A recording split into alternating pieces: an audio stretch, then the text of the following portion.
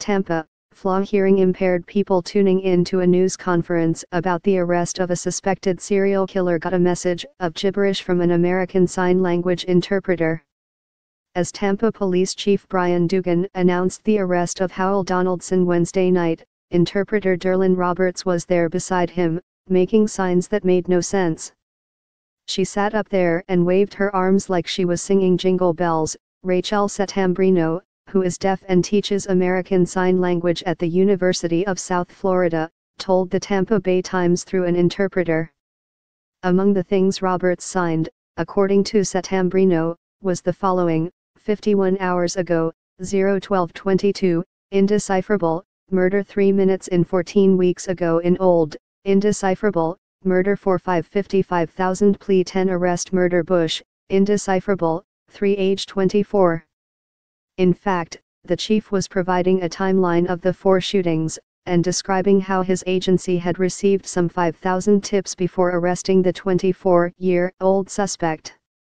I was disappointed, confused, upset, and really want to know why the city of Tampa's chief of police, who is responsible for my safety, did not check her out, Settembrino said.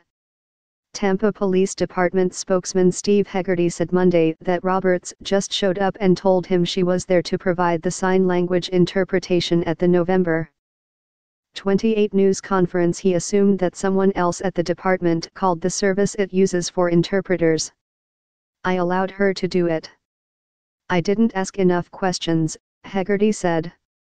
How she knew about the press conference and why she volunteered to do sign language interpretation is still a mystery Hegarty wants to solve.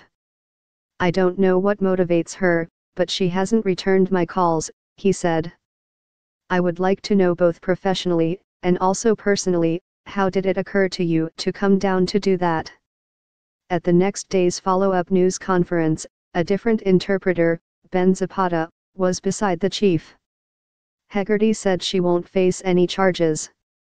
A person matching Robert's name and age has an extensive criminal record that includes convictions for fraud over $50,000 and fraudulent use of personal information, but Hegarty couldn't confirm they are the same person. A message left at a number listed for Roberts wasn't immediately returned. It is the most recent example of an apparently unqualified signer appearing at news conferences. In September, as Hurricane Irma approached Florida and officials announced a mandatory evacuation, an interpreter in nearby Manatee County began signing words like pizza, monster, and bear, along with other gibberish. Manatee County officials later said they were in a pinch and called on a county employee who had an understanding of sign language because he communicates with his deaf brother. However, it quickly became apparent he was in over his head the deaf community demanded an apology and the video of the news conference went viral. In 2013 in South Africa, a fake interpreter appeared beside former President Barack Obama and other world leaders during a memorial service for Nelson Mandela, apparently signing gibberish.